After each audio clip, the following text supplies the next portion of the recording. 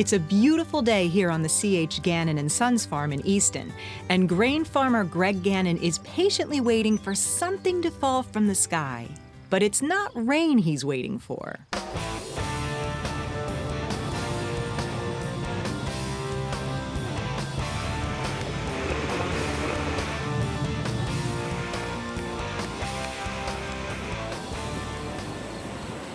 We're looking toward the clouds. Jeff Chorman showing up to do some aerial seeding for us. He'll get two or 300 acres done today, if not more. He's waiting for Jeff Chorman and his crew to sprinkle seeds from the air, seeds that will give life to Maryland's cover crop program. Planting cover crops is critical to keeping nutrients out of the Chesapeake Bay. Cover crops like barley, winter wheat, and forage radish use up leftover nutrients that the previous crop didn't use. They also help prevent erosion and provide organic matter for the next crop. It's so important to the bay, farmers will take their seeds to the skies to make sure they land in the right place at the right time.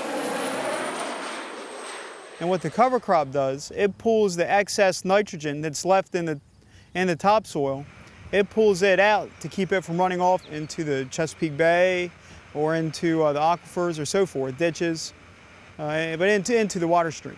The key to planting cover crops is to get the seeds in early, preferably before the current crop is harvested. But using a tractor to plant the seeds in corn that's eight feet tall, it's not possible. That's where the airplane comes in. So that's the benefit of the airplane we will uh, get it in early in the standing crop. They'll come and combine the corn or the soybeans, which is already there. That'll act as a mulch and get the, the cover crop growing. Besides nutrients, farmers are all about protecting their topsoil, keeping it on the fields for growing and out of the waterways. Dropping seeds from the air makes sense because it won't disrupt the topsoil. Jeff Chorman has been buzzing Eastern Shore farms for 15 years, and he understands the relationship cover crops have with the area's waterways. He notes dropping seeds from the air is also faster. But it's the timeliness of application. That is what it's all about, is, is the effectiveness and how fast the airplane can do it. Flying at nearly 150 miles per hour, Jeff can cover 600 acres per day. And this time of year, just before harvest, Jeff is working from sunup to sundown. After he refills, Jeff's back out over the field, spreading new life just a few hair raising feet above the crop. You're looking at what's coming through that windshield and looking at your GPS and monitoring your engine instruments. You have a constant scan going on with all of that. You always circle the field at least once before you start applying. While the airplane won't be replacing farming's iconic tractor, Greg Gannon notes that aerial seeding is important to Maryland agriculture. Each year, nearly 2,000 Maryland farmers take advantage of the cover crop program. Cover crops go back a long time prior, of course, to the Maryland cover crop program.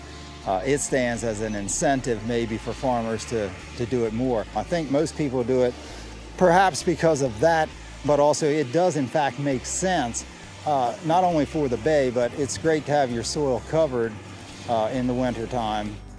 Even though this wheat will never be harvested or sold, it's an extremely valuable crop.